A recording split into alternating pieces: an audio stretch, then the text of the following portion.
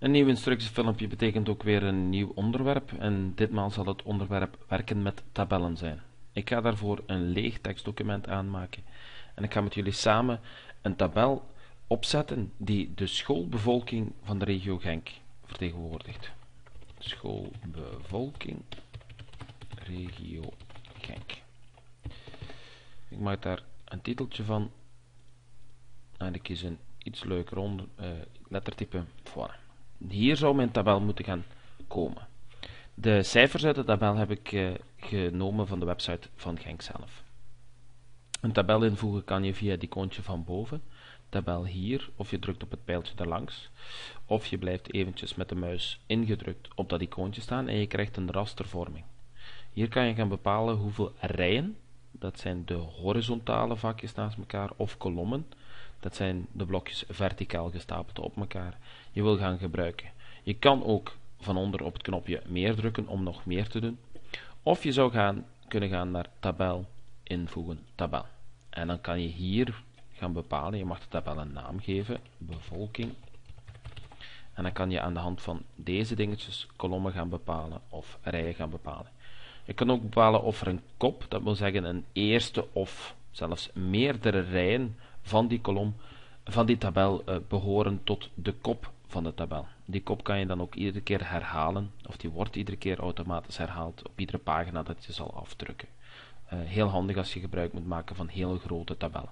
Je kan ook kiezen voor auto-opmaak en binnen auto-opmaak zijn er een, een aantal standaard voorgedefinieerde templates of schablonen die je kan gaan gebruiken om tabellen al een, een opmaak te geven of in een opmaak te voorzien. Als je nu op oké zou drukken, oké, dan ga je zien dat er al een tabel voorgevormd voor je klaar staat. Ik wil echter van start gaan met een volledig lege tabel, zodanig dat je ook kan zien hoe dat ik een tabel opbouw, uh, eventueel cellen bijvoeg of rijen bijvoeg, kolommen verwijderen enzovoort. Dus ik ga terug naar mijn lege scherm. Ik ga een tabel invoegen. Een tabel invoegen en als ik mij niet vergiste had ik zeker vijf rijen nodig en vier kolommen. Dat wil zeggen vijf rijen, vier kolommen in dit geval. Voilà, zo staat die goed. Wat gaan we nodig hebben? We gaan een aantal gegevens invullen. Die gegevens zijn als volgt. We gaan het hebben over het kleuteronderwijs, het lager onderwijs, secundair en het hoger onderwijs binnen Genk. En dat doen we zowel voor jongens apart, meisjes, meisjes, en we willen een totaalbeeld hiervan krijgen. Nu, ik kan deze waarden al beginnen invullen, maar ik wil mijn tabel sowieso wat verfraaien. Meestal wordt er in tabellen gebruik gemaakt van gecentreerde waarden. Dat ga ik nu al instellen. Ik duid gewoon via de linkermuisknop, die hou ik ingedrukt. En ik duid mijn cellen aan en ik ga nu al zeggen dat alles binnen die tabellen gecentreerd zal mogen worden. Ik ga ook al wat waarden ingeven die ik op de website van Genk gevonden had. 2, 4, zo.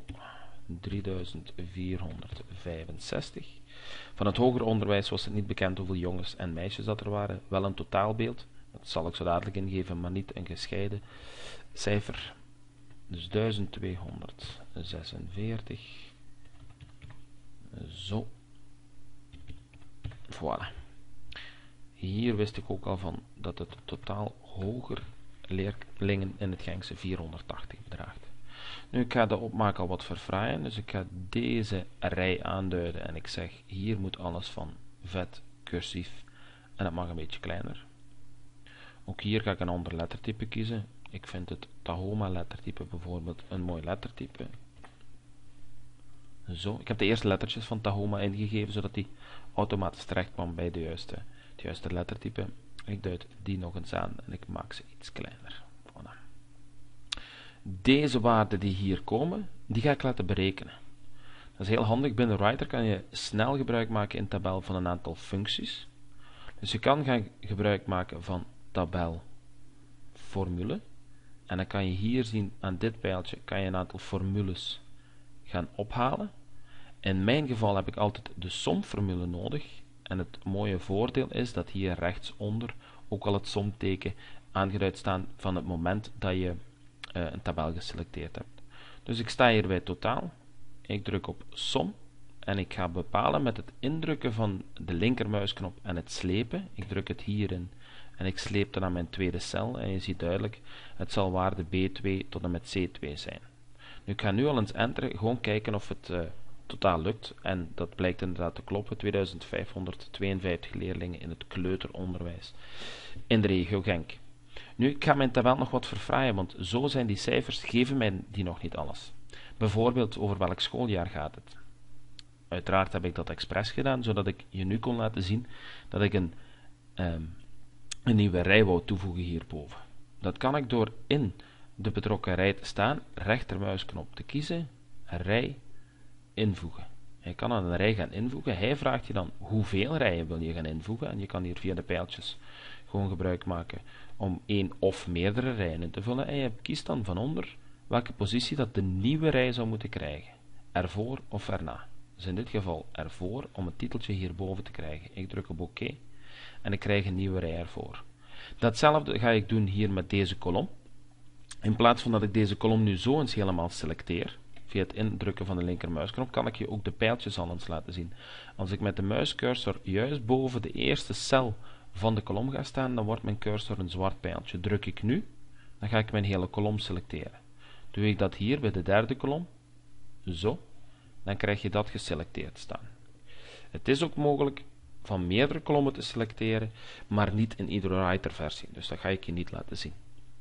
Hetzelfde kan ik ook doen om een rij te selecteren. Ga ik met de muis iets voor een rij staan, dan krijg ik terug het pijltje te zien. Ook dit kan ik dan weer gaan gebruiken om een volledige rij of uh, ja, een volledige rij te selecteren. Excuseer. Nu wil ik hierin gaan plaatsen schooljaar 2005-2006. Maar je gaat zien dat dit vak te klein is. Schooljaar 2005-2006. Dus dat komt niet zo heel mooi uit. Wat ga ik daarvoor doen? Ik ga deze drie cellen samenvoegen. Dus ik duid ze nu opnieuw terug aan, rechtermuisknop, en dan ga ik naar cel samenvoegen. En je gaat zien, kijk, de drie cellen zijn nu samengevoegd tot één cel. Uiteraard die spatie die hierboven staat, die mag ondertussen weg, dus ik doe die gewoon weg.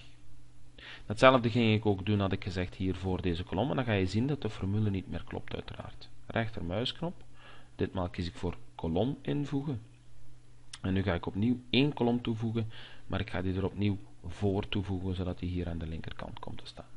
Oké, en we krijgen al een duidelijker overzicht. Ook hier ga ik wat extra informatie plaatsen. Rechtermuisknop en ik zeg tegen de cellen, ik ga ze samenvoegen.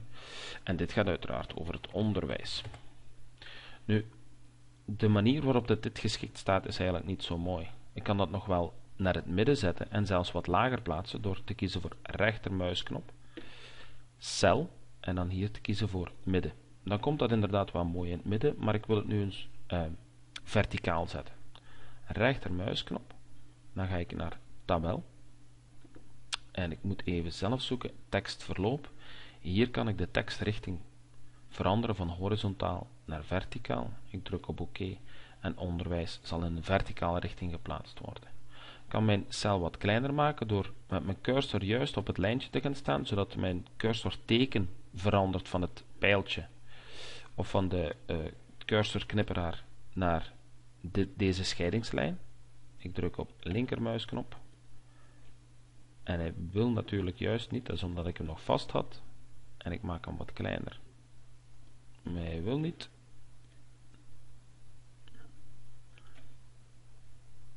Ja, voilà. Daar was die. Ik had hem blijkbaar op een verkeerde plaats vast. Ook hier ga ik dat wat aanpassen. Een beetje kleiner maken. Ook dit ga ik terug centreren. Zo, centreren. Zwart.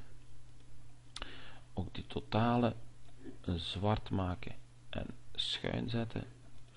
Hier moet ik nog een som gaan gebruiken. Deze waarde. Zo. En ook hier ga ik de som berekenen van deze twee cellen. Ik druk op Enter om te bevestigen en die waarde wordt erin gegeven. Ik ga nog wat kleureffecten moeten toekennen. Dat ga ik uh, nu als eerste eens eventjes doen. Ik ga in bijvoorbeeld deze cel staan, rechtermuisknop en ik kies tabel. En dan kan ik bij achtergrond een andere achtergrond toekennen. Dus ik zal Lyceum groen proberen te selecteren, ongeveer dit groen. Oké, En dan staat schooljaar 2005-2006 met een groene achtergrond. Van het moment dat je een kleur als achtergrond kiest, kan je zelfs je tekens wit maken. Dat geeft een mooi effect. Dus ik druk rechtermuisknop teken. Ik geef mijn kleur wit. Waar dat je dan wel op moet letten natuurlijk, is dat je voorbeeld ook wit is. En wat geef ik dan meestal mee? Schaduw. En vaak nog omtrek, maar dat geeft hier in dit geval geen mooi effect. Ik druk op OK. En ik zie dat ik zeker mijn teken kan rechtzetten en nog iets groter maken. Zo, voilà. Dat komt dan mooier overeen. Datzelfde doe ik met deze selectie. Rechtermuisknop tabel. Ik geef die een 10% grijs tint. Zo. En ook het onderwijs ga ik eens een andere kleur geven. Tabel. En ik geef die als achtergrond lichtblauw. Bijvoorbeeld. Nu wil ik nog een beetje uh, de lijntjes een mooiere opmaak geven. Ik ga eens eerst heel mijn tabel aanpassen. Dus ik, ik duid mijn hele tabel aan. Dat kan ik doen door ofwel voor alle rijen te gaan staan. Zo en alle rijen te selecteren. Je ziet het niet zo duidelijk in het, uh, in het opnamefilmpje. Of de kolommen te selecteren achter elkaar. Dat kan je ook. Dan heb je de hele, cel de hele tabel geselecteerd. Maar je kan ook in plaats van van boven te gaan staan of opzij te gaan staan, recht in het hoekje gaan staan. En dan zie je dat het pijltje diagonaal geplaatst gaat worden. Als je dit drukt, heb je ook de hele cel geselecteerd. Dus ik ga nu eens wat tabeleigenschappen, of de hele tabel geselecteerd. Ik ga tabeleigenschappen aanpassen. Dus ik ga naar tabel. En ik ga bij de randen aanduiden dat er hier via dit icoon geen enkele rand ingesteld moet worden. Ik druk op OK. En dan zie je nog wel wat lijntjes, maar dat is omdat je in de ontwerpweergave bezig bent. Als ik nu het afdrukvoorbeeld zou nemen, afdrukvoorbeeld, dan zie je duidelijk, ik zal dat op 100% zetten, zie je duidelijk dat er geen lijnen in mijn tabel aanwezig zijn. En nu kan ik zelf cel per cel, rij per rij of kolom per kolom uh, de nodige lijnen gaan tekenen. Wat ik nu in dit voorbeeld ook zie, is dat jongens, het jongensvak veel breder is dan het meisjesvak en het totaalvak. Dus dat ga ik even nakijken. Ik zie inderdaad dat deze kolom veel breder is. Je kan iedere keer zelfs via kolom de breedte gaan bepalen, dus je kan die zelf gaan ingeven. Of, je hebt het misschien zien staan, je zou een breedte kunnen gaan bepalen. Hoe doe ik dat? Ik wil dat jongens, meisjes en totaal exact dezelfde breedtes krijgen. Dus ik duid die drie kolommen aan, rechtermuisknop, kolom en ik zeg gelijkmatig verdelen. Als je zou kiezen voor optimale breedte, ik zal dat even doen, dan gaat hij de kolom zo smal mogelijk maken. Dat wil ik dus niet, dus ik doe even ongedaan maken, maar ik wou wel dat ze gelijkmatig verdeeld werden, rechtermuisknop, kolom, gelijkmatig verdelen en nu zijn die kolommen even breed. Ik ging me even concentreren op de cellen. Ik zie dat deze twee cellen nog niet samengevoegd zijn, dus dat ga ik even doen. Samenvoegen, voilà. Oei, we zijn de opmaak verloren, dat is wel spijtig. Dus dan gaan we dat opnieuw doen.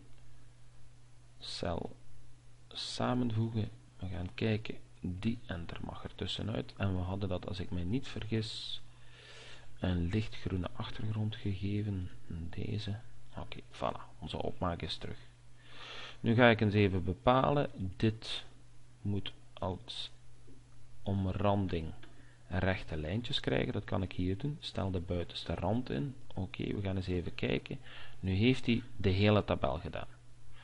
Nu wordt het even zoeken hoe dat we juist dit ene hoekje gaan uitsluiten. Daarvoor ga ik dus opnieuw beginnen. Zo. Ik kies tabel. En auto, maar gaan we niet doen. Ik zoek mijn tabeleigenschappen. Hier van onder stonden ze. Ik was ze eventjes kwijt. Dat is dus niet wat ik wil. Ik wil blijkbaar een aantal lijntjes plaatsen. Je ziet dat je die, die hier kan aanduiden. Maar ik wil zeker niet dat mijn vakje linksboven mee uh, verwerkt wordt. Dus ik ga het anders moeten aanpakken. Ik ga bijvoorbeeld eens proberen door te zeggen, dit moet allemaal lijntjes krijgen. Rechtermuisknop, tabel en geef hier maar overal lijntjes. Oké, Voilà, dat geeft al een beter beeld. En dan doen we dat hier ook nog. Rechtermuisknop, tabel. Overal lijnen. Oké. En je gaat zien, hier linksboven, dat is niet mee uitgelijnd. Dus ik ga nog eens het afdrukvoorbeeld raadplegen. Voilà, dit is wat ik wou bereiken. Dus linksboven geen omleiding meegeteld. Nu is het misschien een beetje te druk omdat die lijntjes ehm, sterk doorkomen. Dus wat zou ik kunnen doen? Ik zou kunnen bepalen dat die middelste lijnen hier, dat die niet volle lijnen zijn, maar stippenlijnen. Ook dat zal ik nog even aanpassen. Dus ik duid het kadertje aan, rechtermuisknop, tabel. En ik ga hier van de middelste lijnen, dus deze lijn en deze lijn, die ga ik een andere opmaak geven. Dus ik doe dit, uh, deze lijn duid ik aan en ik ga typen op stiplijn zetten.